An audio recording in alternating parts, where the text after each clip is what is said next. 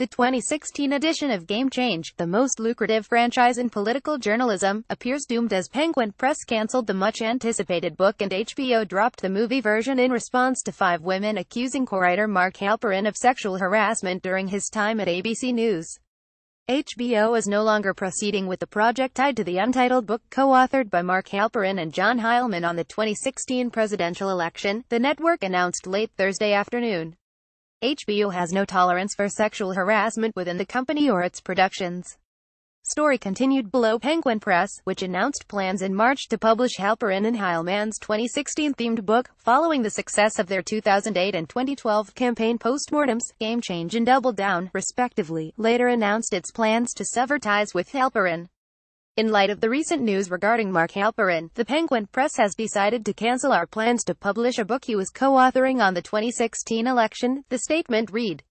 CNN's Oliver Darcy reported Wednesday night that women described Halperin as having a dark side that ranged from propositioning employees for sex to kissing and grabbing one's breasts against her will. Three of the women described Halperin as, without consent, pressing an erection against their bodies while he was clothed, Darcy wrote. Halperin denied grabbing a woman's breasts and pressing his genitals against the three women, according to the report. During this period, I did pursue relationships with women that I worked with, including some junior to me, Halperin said in a statement to CNN on Wednesday night.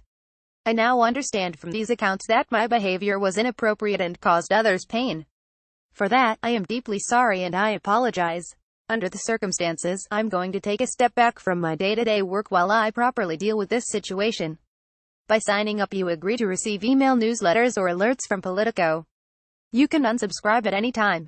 Ultraviolet, a women's advocacy group that targeted Fox News advertisers after allegations in April against then host Bill O'Reilly, urged Penguin and HBO on Thursday to sever ties with Halperin and some female journalists suggested that the allegations against Halperin compromise his ability to write about an election in which gender played a large role in the Republican nominee, and now president, faced allegations of sexual harassment and boasted on an infamous Access Hollywood outtake about sexual assault.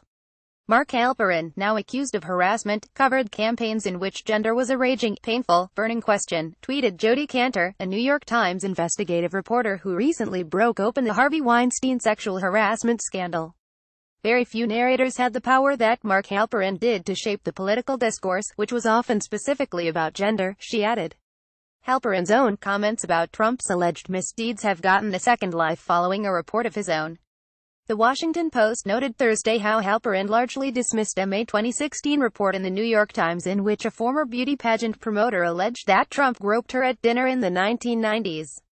If that's the best they got on these issues and Donald Trump, Donald Trump should be celebrating that story, Halperin said at the time, adding that while there's some troubling things in the piece, there was nothing illegal. He said reports of boorish or politically correct behavior could be politically beneficial to Trump because that's part of his brand and appeal. There is suspicion and concern inside ABC News that more women will come forward with claims about Halperin's tenure at the network, which ended in 2007.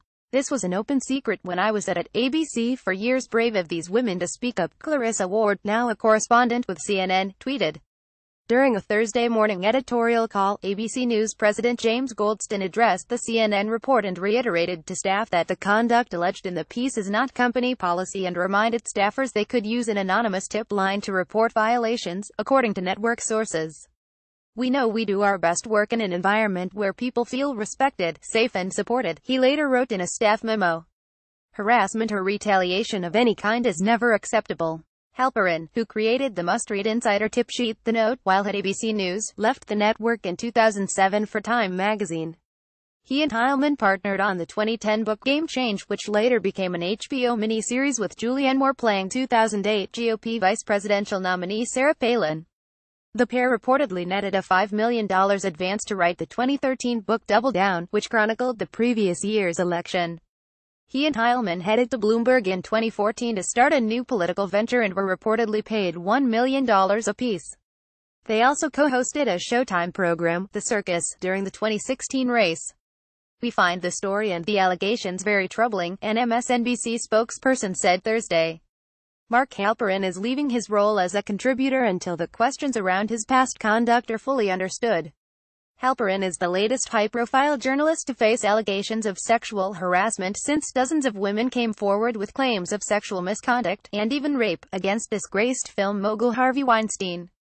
Leon Wieseltier, the famed New Republic editor who was to launch a no-shuttered journal this month, admitted Tuesday to past misdeeds with female colleagues. Wieseltier was one of more than 70 men accused of greatly varying levels of harassment on a list of unverified allegations called Shitty Media Men. Halperin was not on that list, nor was Vox editorial director Lockhart Steele, who was fired last week amid sexual harassment allegations.